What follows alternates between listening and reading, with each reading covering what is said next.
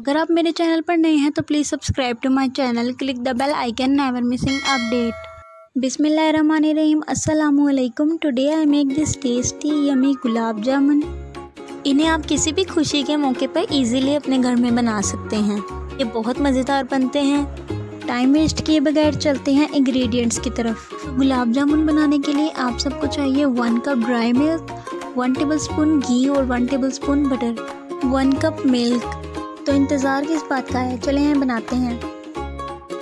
पहले हम बनाएँगे खोया। आपने एक पैन ले लेना है, उसमें वन टेबल स्पून घी और one tablespoon butter add कर देना है। अब इसमें वन कप मिल्क ऐड कर दें। अब आपने ड्राई मिल्क ऐड करना है। ड्राई मिल्क ऐड करना है साथ साथ मिक्स करते जाना है। ड्राई मिल्क ऐड करना है साथ साथ मिक्स करते जाना है। आपने चम्मच को हिलाना, रोकना नहीं है, ताकि इसमें कोई लंप ना बने। आपने इसे अच्छी तरह से मिक्स कर लेना है।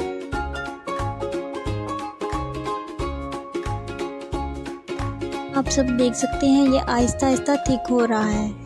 आपने इसे at least five to seven minute तक कुक करना है। ये आहिस्ता आहिस्ता पैन छोड़ देगा। जब हमारा खोया बिल्कुल रेडी हो जाएगा तो ये बिल्कुल एक डो की शक्ल में आ जाएगा।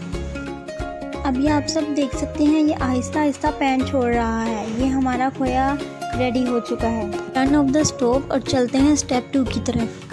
ये वही खोया है जो हमने अभी बनाया है three pinch baking powder one cup flour bowl ले लें और इनमें तीनों इंग्रेडिएंट्स को ऐड करके अच्छी तरह से गूंद लें। अगर आपकी डो ड्राई होगी तो आप इसमें मिल्क भी ऐड कर सकते हैं। यू कैन सी दैट अब ये डो रेडी हो चुकी है, अब हम इसके छोटे छोटे बाउल बनाएँगे। छोटे बना लें, बड़े बना लें, जितने आप बनाना चाहते हैं उतने बना सकते हैं। आप सब देख सकते हैं मैं इतने बाउल बना रही हूँ। अल्हम्दुलिल्लाह अल्हम्दुलिल्लाह। अब ये बाउल रेडी हो चुके हैं फ्राई होने के लिए चले आए फ्राई करते हैं। एक पैन में घी ले लें और उसमें इन बाउल्स को ऐड कर दें। बिस्मिल्लाह, याद रहे, घी ज़्यादा गर्म नहीं होना चाहिए। आप ऑयल में भी फ्राई कर सकते हैं। इन्हें लो फ्लेम पे फ्राई करना ताकि ये सॉफ्ट बने। साथ साथ इन्हें हिलाते जाएँ। आपने इन्हें तब तक फ्राई करना है जब तक इनका खूबसूरत सा कलर नहीं आ जाता। खाने में बहुत ही मज़ेदार लगते हैं। आप इन्हें अपने घर में ज़रूर ट्राई कीजिएगा। आहिस्ता आहिस्ता ये ब्राउन हो रहे हैं। अल्हम्दुलिल्लाह अल्हम्दुलिल्लाह। अब आप देख सकते हैं कि ये गुलाब जामुन रेडी हो चुके हैं। अब हम इन्हें शुगर सिरप में ऐड कर देंगे। इन्हें अच्छी तरह से मिक्स कर ले ताकि शुगर सिरप इनके अंदर अच्छी तरह से डिज़ोल्व हो जाए।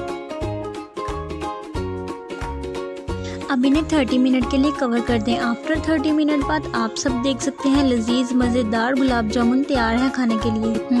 यमी हम्म, माशाल्लाह हमारे ज़बरदस्त से गुलाब जामुन तैयार हैं। आप सबने देखा कि आप सब गुलाब जामुन कितनी आसानी से अपने घर में बना सकते हैं। तो फिर क्या सोच रहे हैं? चलें जाएँ बनाएँ और कमेंट में आकर बताइएगा कि कैसे बने थे।